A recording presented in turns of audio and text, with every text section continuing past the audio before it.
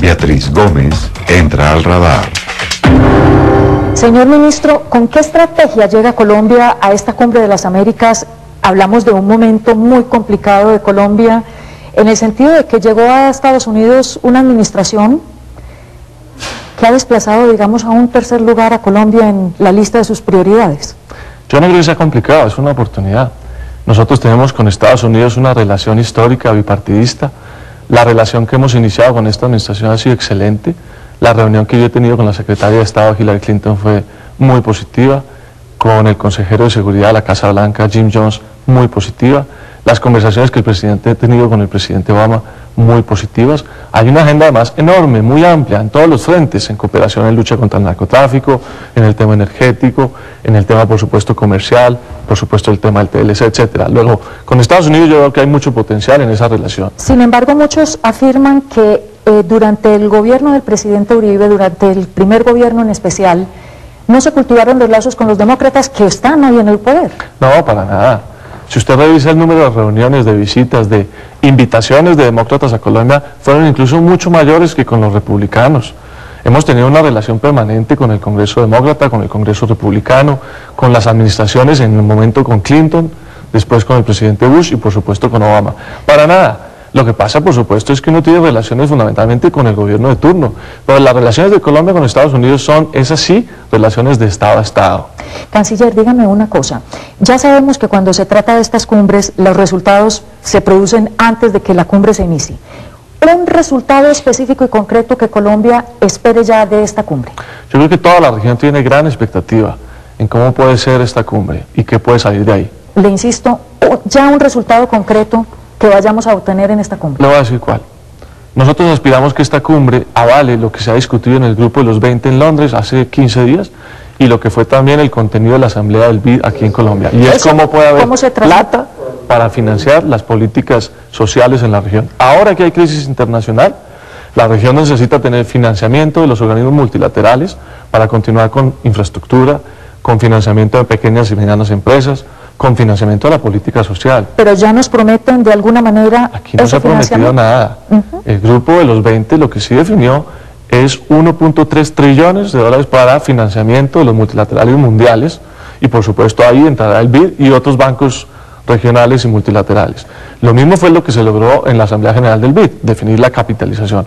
¿Qué aspiramos y qué buscamos? Que en esta cumbre se ratifique el interés de los países de la región de apoyar esas capitalizaciones en la medida de las posibilidades. Ese es un tema concreto que esperamos que se pueda desarrollar. ¿Ya no habrá reunión particular eh, del presidente Uribe con el presidente Obama? Lo que está claro es que el presidente Obama, y lo ha dicho la Casa Blanca, y hay una información, está buscando la manera de reunirse con los presidentes de la región. En conjunto. Uno, tiene que entender la dificultad de un presidente como el presidente Obama de reunirse con unos y no con otros. No, y además casi todos querían una reunión privada con el presidente Obama. Por supuesto. Pero es que sabemos que hay una reunión a instancias de UNASUR y que habrá un almuerzo o una cena donde seguramente puedan estar los dos presidentes también con oportunidad de conversar de alguna forma en privado. Y vamos a seguir buscando la oportunidad para hacerlo, si no ahora, más adelante, de tener una reunión exclusivamente bilateral.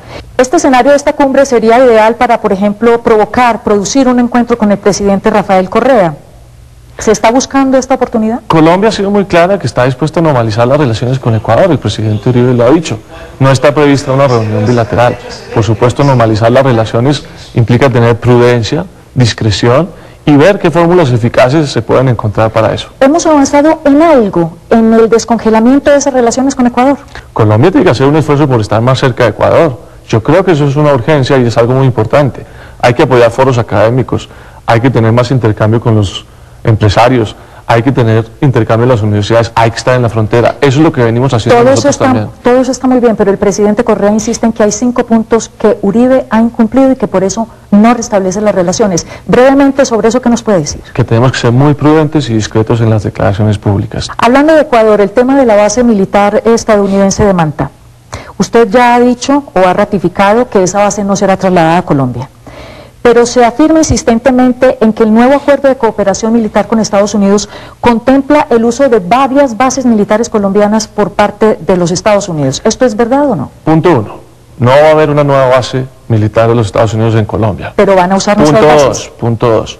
Lo que se viene haciendo con Estados Unidos es una cooperación desde hace más de 30 años. El primer acuerdo que tenemos con los Estados Unidos de cooperación es del año 52 y ha habido varios más. El último incluso de hace apenas unos 5 años. Sí, pero la, lucha contra el narcotráfico la requiere cooperación eficaz. El único país que de manera más eficaz le ha apoyado Colombia en esta lucha ha sido Estados Unidos. Tenemos cooperación de otros países, pero, Pero ha sido qué significa? ¿Van a usar nuestras bases militares? Nosotros estamos precisamente definiendo los términos y no es un nuevo acuerdo, sino algo que ya existe, de los acuerdos que ya existen para ver cómo podemos hacer operativa esa cooperación y profundizarla. Donde podremos tener buenas noticias es en las relaciones con Venezuela.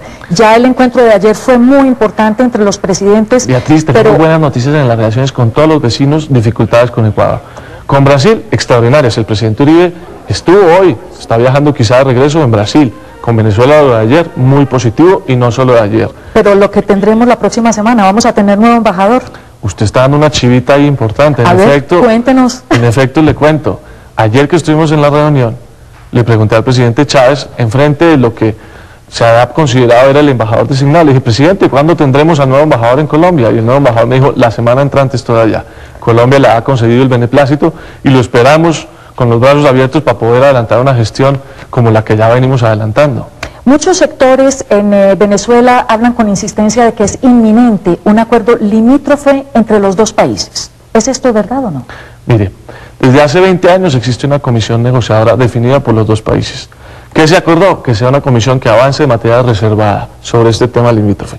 Cuando haya algún eventual acuerdo, lo ponen en conocimiento de las cancillerías y de los presidentes para que ellos decidan o lo hagan público. Ese no es el caso hoy. Pero tenemos avances eh, con respecto a hace unos años o no?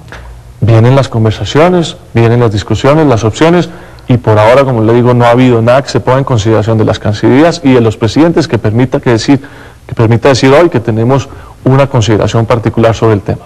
Señor ministro, muchísimas gracias. A ustedes muchas gracias.